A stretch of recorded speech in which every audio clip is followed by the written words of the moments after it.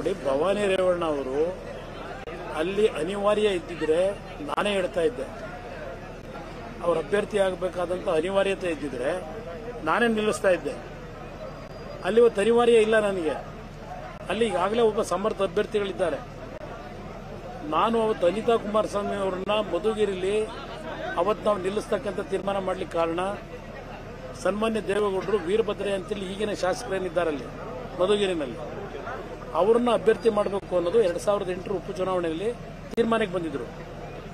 ಅವರ ಒಂದು ಸರ್ಕಾರಿ ನೌಕರರೇನಿದ್ರು ಅವರ ಒಂದು ವಾಲಂಟಿಯರ್ ರಿಟೈರ್ಮೆಂಟ್ ಅಕ್ಸೆಪ್ಟ್ ಮಾಡಲಿಲ್ಲ ಸರ್ಕಾರ. ಕೊನೆ ಹಂತದಲ್ಲಿ ನನಗಲ್ಲಿ ಅಭ್ಯರ್ಥಿ ಇರಲಿಲ್ಲ. ಆ ಎಂಟು ಆಪರೇಷನ್ ಕಮಲದ ಚುನಾವಣೆಯಲ್ಲಿ ನಾನು ಕನಿಷ್ಠ ಒಂದು ಮೂರ್ನಾಲ್ಕು ಸ್ಥಾನವಾದರೂ ಗೆದ್ದು ಪಕ್ಷದ ಮರ್ಯಾದೆ ಉಳಿಸಬೇಕು, ಗೌರವ ಉಳಿಸಬೇಕು ಅಂತಕ್ಕಂಥ ನಿಟ್ಟಿನಲ್ಲಿ ಅಭ್ಯರ್ಥಿ ಇಲ್ಲದೆ ಹೋಗಿದ್ದಕ್ಕೆ ಇಲ್ಲಿ ತಲೆ ಕೊಟ್ಟೆ. ನಾನು ಅನಿತಾ ಕುಮಾರಸ್ವಾಮಿ ನಿಲ್ಲಿಸಿದ್ದೆ.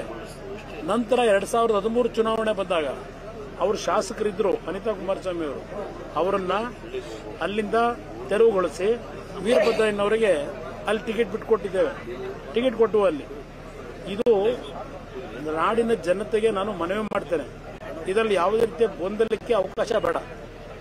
ನಾನು ಜನತೆಗೆ ಹೇಳ್ತೀನಿ, ಇಲ್ಲಿ ಯಾವುದೇ ಕುಟುಂಬದಲ್ಲಿ ಏನೋ ಸಂಘರ್ಷ, ಕುಟುಂಬದಲ್ಲಿ ಏನೋ ನಡೀತಿದೆ, ತಳಮಳ, ಇದು ಪ್ರಶ್ನೆ ಇಲ್ಲ ನನಗೆ.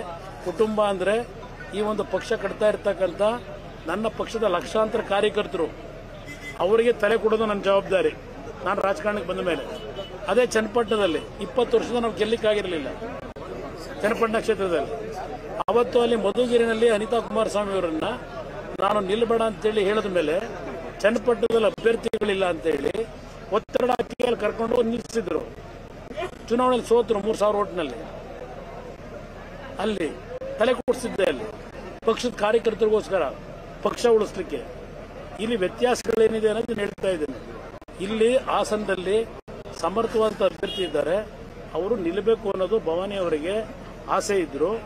ಸಮರ್ಥವಾದ ಅಭ್ಯರ್ಥಿಯಲ್ಲಿ ಇಲ್ಲದೆ ಹೋಗಿದ್ರೆ ನಾನೇ ಹೇಳ್ತಾ ಇದ್ದೆ ನಿಂತ್ಕೊಳ್ಳಿ ಅಂತ ಹೇಳಿ. ಇಲ್ಲಿ ಕುಟುಂಬದ ರಾಜಕಾರಣದ ಪ್ರಶ್ನೆ ಇಲ್ಲ ಇಲ್ಲ ಎಲ್ಲಿ ನಮಗೆ ಎಲ್ಲಾದರೂ ಅಭ್ಯರ್ಥಿಗಳು ಇಲ್ಲದೆ ಇದ್ದಾಗ ನಮ್ಮ ಕುಟುಂಬದಲ್ಲಿ ಎಸ್ ತಲೆ ಕೊಟ್ಟಿದ್ದೇವೆ.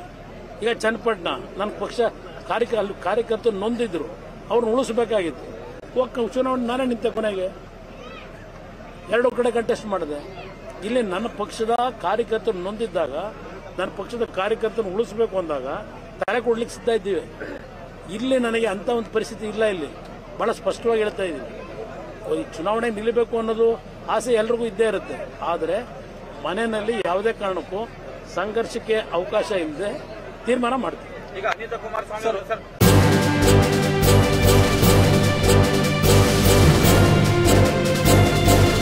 ಇದು ಮಾನವೀಯ ಸಂದೇಶದ ಜನವಾಹಿನಿ.